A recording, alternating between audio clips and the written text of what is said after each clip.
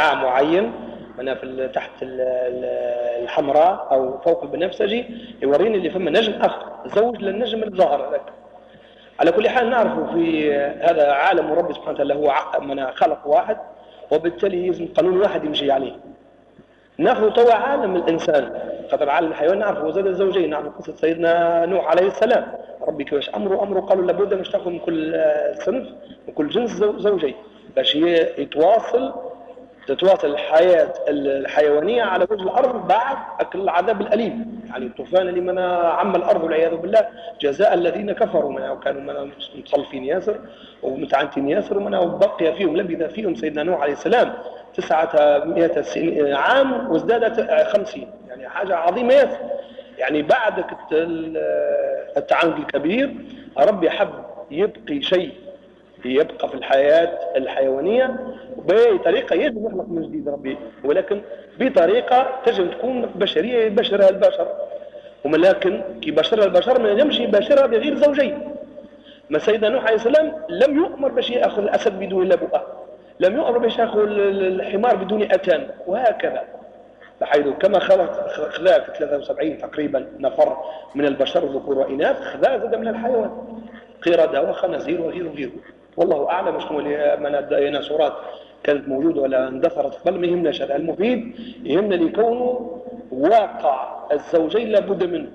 ولهذا كما نقولوا جنس ذكروي وجنس أنثوي لابد منه باش نجم نتحدث وباش نجم نكونوا مع الوقت. لأنه ثم من يقول اليوم وقت اللي ثم العلم وصل باش يأثر على أعماق الخلية البشرية اللي يجب يغير الكروموزومات وما تصنع منه ما تخلق منه الكروموزومات. يعني الكروموزومات هي أجسام صغيرة جدا تلقاها ملتفة على بعضها البعض وملتوية وموجودة في أصل النواة أي قلب الخلية. وما يتعرف إلا بطرق معينة منهم طريقة ال caryotype هذه في الطب في علم المختبر. تجم تعرف كيف تاخذ الخلية من من خصيه وخلية من من الجلد والمخ. تجم تعرف الخلية اللي يذكرها وانثى. ثم تجم تعرف الجزيئات هذوما الكروموزومات الاجسام هذه الأجسام المصطبغه كروموزوم. كروموس هي اللون وصوم يعني جسم. يعني الأجسام المصبغه هذه نجم نعرفه. كل واحد منهم عنده رقم وعنده اسم ولاش يصلح في الوراثة. ندرى ماشي الجزء اللي فوق في طرفه الأيمن ولا الطرف القصير. ندرى ماشي يدخل في طول الاثنان اللي ماشي يجي ولا في لونه ولا في ذكاء ولا في طبعه. يعني في عاطفته وهكذا مش يطلع مجرم مش مجرم. هذا شيء يعلمه الله. على كل حال العلم تقدم اللي حتى الكروموزومات هذوما يبدأ في من منقسم إلى نصفين يعني ثم شيء كما هكا. يعني عنده طرف قصير وطرف طويل ويبدأ جزئين وفما شيء من نقطة تربط بينك الجزئين هذوك يعني حتى في عالم هذا عالم الكروموزومات الزوج لابد منه. يعني الفرد مش موجود ما يخدمش.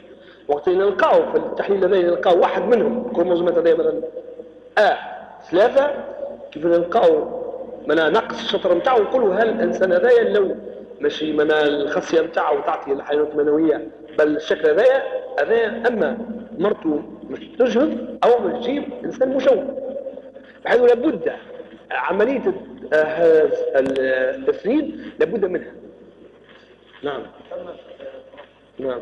ضروري التزويج التزاوج كل ما كل شيء كل شيء. آه. حتى الحيوان مثلا بالتالي نعم. تتوقع أي نعم. كل حال هذه الهرمافروديت خنث ذكري يتسمى هذا موجود عند السمك. هما الحاجة للتناسل مرة اليوم يقوم نفس ال نفس ال السمك السمكة هذيك تقوم تو بدور الذكر وبعد حالات أخرى تجي تقوم بدور الأنثى أو بعد سنة أو سنتين. حسب المعطيات اللي منها موجودة باش التكاثر يكون في مستوى متوسط ما يكونش آه، تكاثر كبير حتى يقضي على المحيط هذا كله.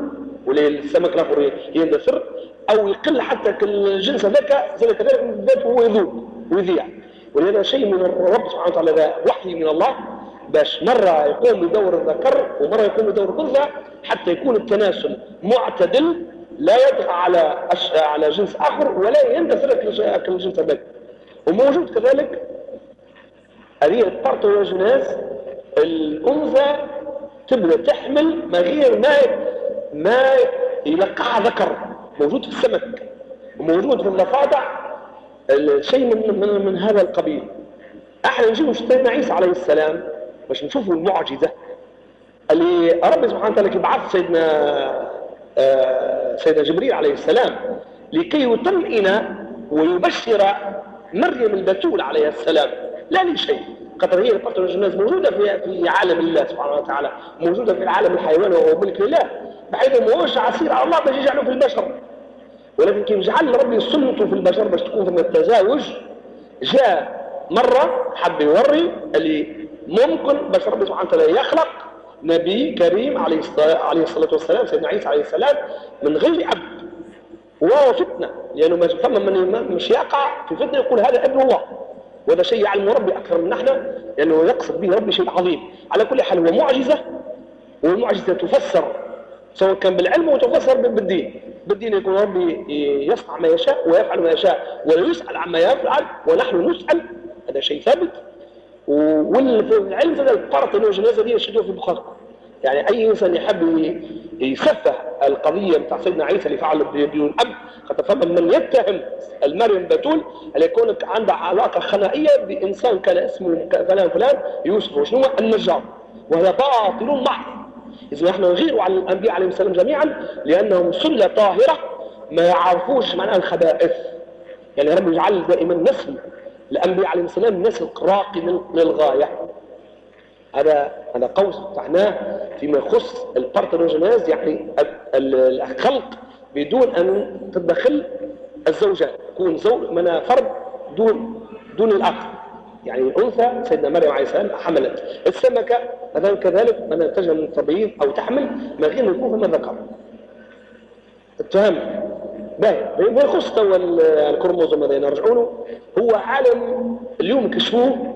قالوا إذا كان ناخذ آه الكروموزوم هذا إكس ولا ايكغيك وندمروا مثلا إكس. يولي الراجل هذاك ما يجيب ينجب كان الذكور. هذا بإيجاز خاطر هو العلم هذا يتفقم ياسر وتفرع ياسر ولا معقد ياسر. على كل حال أنا نقول لكم هذا الجيني اللي تسمى بإيجاز.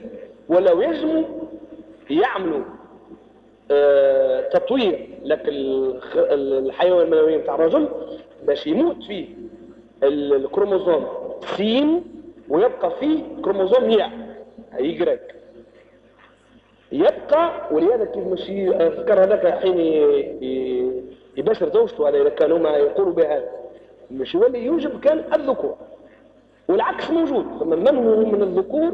من يوسع في الكتاب وبالتالي يتغرب الكروموزوم الكروموزوم اللي يسمى ياء